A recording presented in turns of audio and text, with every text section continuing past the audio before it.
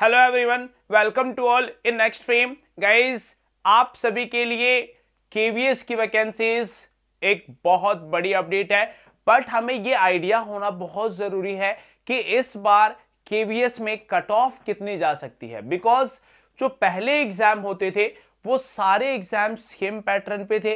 इस बार एग्ज़ाम का पैटर्न चेंज कर दिया तो जज्बात भी चेंज कर दिए, सारे हालात चेंज कर रखे तो जब यहाँ पर पैटर्न चेंज होगा तो क्या होगा?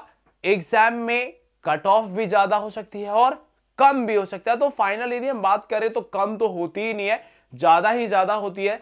कट ऑफ़ हमेशा बढ़ता है। कम नहीं होता कट ऑफ़ हमेशा बढ़ता है। तो कितना बढ़ सकता है? आज हम उसी को डिस्कस करेंगे कि इस बार केवीएस पीआरटी में क्या कट ऑफ़ रहने की उम्मीद है।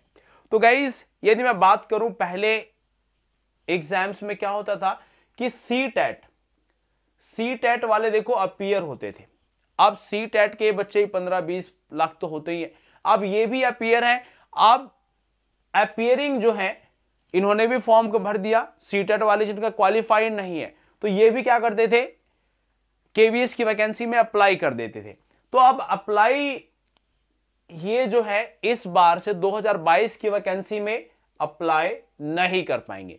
तो जब ये अप्लाई नहीं करेंगे तो यहाँ से एक बेनिफिट है उनके लिए, जिन्होंने क्वालिफाई पहले से किया हुआ है। ये तो अब कहीं भी अपियरिंग वाले कैंडिडेट फाइट में ही नहीं है। फ़र्स्ट पॉइंट ये फाइट में नहीं है अब। Second exam pattern exam pattern completely change कर दिया गया। एग्ज़ाम पैटर्न अब चेंज हो गया। पहले आपके एग्ज़ाम पैटर्न में जो मार्क्स होते थे 150 मार्क के क्वेश्चंस होते थे। अब 180 का हो गया। अब 180 मार्क का पेपर होगा तो पहले 150 था, अब 180 है। क्लियर अब 180 ये ढाई घंटे दिया गया और यहाँ पर थ्री आवर्स का आपको टाइम दिया जाएगा।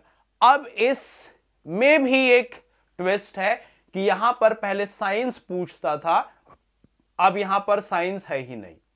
साइंस हटा दी।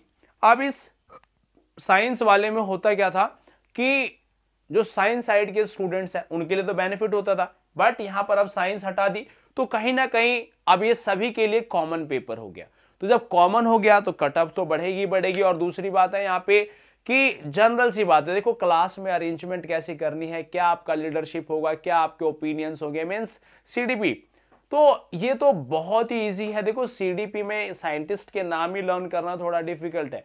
और बाकी आप नहीं भी पढ़ा ना आपने तो आप अपने कॉमन सेंस से आप एज ए टीचर एज्यूम कर लो और आप सारे आंसर्स रिप्लाई कर सकते हो। सारे आंसर्स दे सकते हो आप।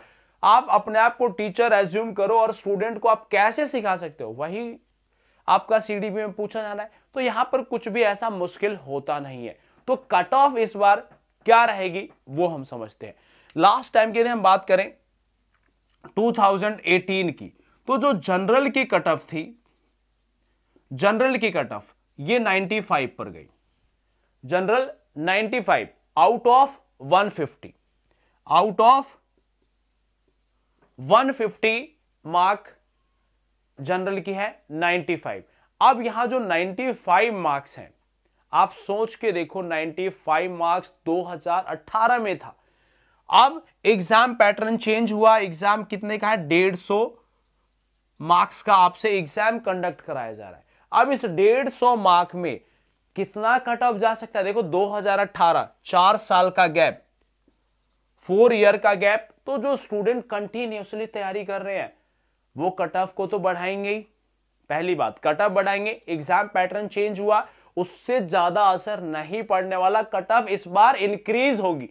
कट ऑफ़ क्या होगा इंक्रीज होगा तो फाइनल यदि हम बात करें कि जहाँ पर आपका सिलेक्शन आप सेफ़ जोन में हो तो उस सेफ़ जोन की यदि हम बात करें तो नहीं भी तो आप 110 मार्क 110 टू 20 मार्क के बीच में स्कोर करो, ये बिल्कुल ही सेफ़ जोन है। और 120 का तो मान के ही चलो 120 अगर आप मान के चलते हो तो आप नहीं भी तो 105 110 के आसपास पहुँच जाओगे। यहाँ पर आप पहुँच जाओगे, आपके सिलेक्शन को कोई भी नहीं रोक सकता, क्योंकि कट ऑफ़ इससे ऊपर नहीं जाएगी। कट ऑफ़ इससे ऊपर नहीं जाने वाली, क्योंकि एग्ज़ाम पैटर्न चेंज हो रहा है। और एक केवीएस का जो एक खास बात है कि केवीएस जो अपने एग्ज़ाम को कंडक्ट बहुत ही जल्दी करा लेता है। टाइम ज़्यादा नहीं देता, छह महीने, आठ महीने, दस महीने का ऐसा टाइम नहीं होता है। केवीएस अपने एग्ज़ाम को जल्दी कंडक्ट कराता है तो वही स्टूडेंट इसको क्वालिफाई भी कर पाते हैं जो कंटिन्यूसली प्रिपरेशन में है। ऐसे नहीं कि दो दिन पढ़ा, चार दिन गायब तो उनकी प्रिपरेशन तो है नहीं तो एग्ज़ाम को तो कैसे क्वालिफाई होगा? उनसे तो होगा ही नहीं ना। तो ये आप मान के चलो, जो जनरल कैटेगरी है 110 के आसपास स्कोर करो। आउट ऑफ़ 180 आप सेफ़ जोन में रहोगे और एग्ज़ाम क्वालिफाई होगा ही होगा। 110 120 के बीच में आपने स्कोर करना है। So guys hope so cut off आपको समझ में आएगा और इसी के अकॉर्डिंग हमने प्रिपरेशन करनी है और प्रिपरेशन जो आप करो सिलेबस के अकॉर्डिंग करना। सिलेबस के अकॉर्डिंग करोगे प्रिपरेशन फ़ायदे में रहोगे। So guys all the best thank you very much अगर आप हमारे चैनल पर नए हो तो सब्सक्राइब कर लेना और आप मैथ्स रीजनिंग ये सारी वीडियोस आपको प्रोवाइड होती रहेंगी। केवीएस का complete syllabus all the best